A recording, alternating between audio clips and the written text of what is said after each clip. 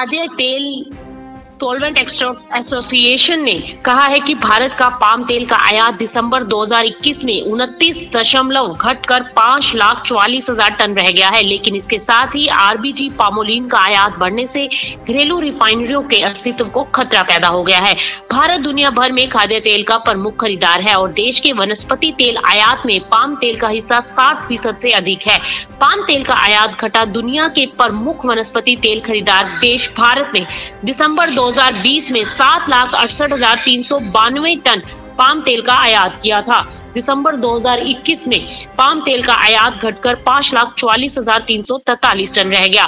दिसंबर 2021 में देश का कुल वनस्पति तेल आयात 10 फ़ीसद घटकर बारह लाख छब्बीस हज़ार टन रह गया।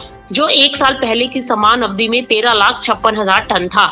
वहीं सी के अनुसार आरबीजी पामोलिन के आयात में वृद्धि हुई है, जिससे घरेलू रिफाइनर प्रभावित होंगे। आरबीजी पामोलिन पर आयात शुल्क में कमी के बाद आरबीजी पामोलिन और कच्चे पाम तेल की कीमतों में भारी असमानता देखने को मिली है। सी ने कहा है कि सीपीओ पर आयात शुल्क में एक साथ कमी किए बिना फोमोलिन पर प्रभावी आयात शुल्क को उन्नीस दशमलव दो पाँच प्रतिशत ऐसी घटाकर तेरह दशमलव सात पाँच प्रतिशत करने से सीपीओ के बजाय रिफाइंड पामोलिन के आयात में वृद्धि होने की संभावना है। घरेलू रिफाइनरी के लिए सीपीओ कच्चा माल है। सी ने कहा है कि चूँकि मार्च 2022 तक आरबीजी पामोलिन को कम शुल्क पर स्वतंत्र रूप से आयात करने की अनुमति दी गई है। इसीलिए जनवरी मार्च तिमाही के दौरान लगभग 10 से 12 लाख टन आरबीजी पामोलिन का आयात होने की उम्मीद है। जिससे सीपीओ का आयात प्रभावित होगा सीपीओ के इस प्रसंस्करण में 6000 से 8000 रुपए प्रति टन का खर्च आता है इस स्थिति के कारण प्रसंस्करणता कंपनियों को अपनी रिफाइनरियाँ बंद करनी पड़ सकती हैं।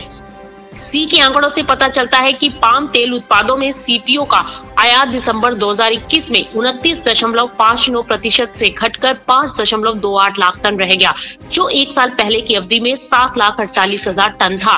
क्रूड पाम कर्नेल ऑयल यानी सीपीओ का आयात भी एक साल पहले की समान अवधि में उन्नीस हज़ार चार सौ छियासी टन से गिरकर तेरह हज़ार आठ सौ टन रह गया। हालाँकि दिसंबर 2021 में आरबीजी पामोलिन का आयात बढ़कर चौबीस हज़ार टन हो गया, जो एक साल पहले की समान अवधि में 900 टन था। हल्के तेलों में सोयाबीन तेल का आयात पिछले साल दिसंबर में इक्कीस दशमलव पाँच सात प्रतिशत बढ़कर तीन दशमलव नौ दो लाख टन हो गया, जो दिसंबर दो हज़ार बीस में तीन लाख बाईस हज़ार टन था।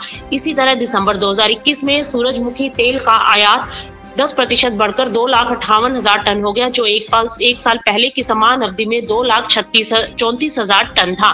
सी के अनुसार एक जनवरी तक खाद्य तेलों का स्टॉक पाँच लाख अस्सी हज़ार टन अनुमानित था और लगभग ग्यारह लाख चालीस हज़ार टन पाइपलाइन में था।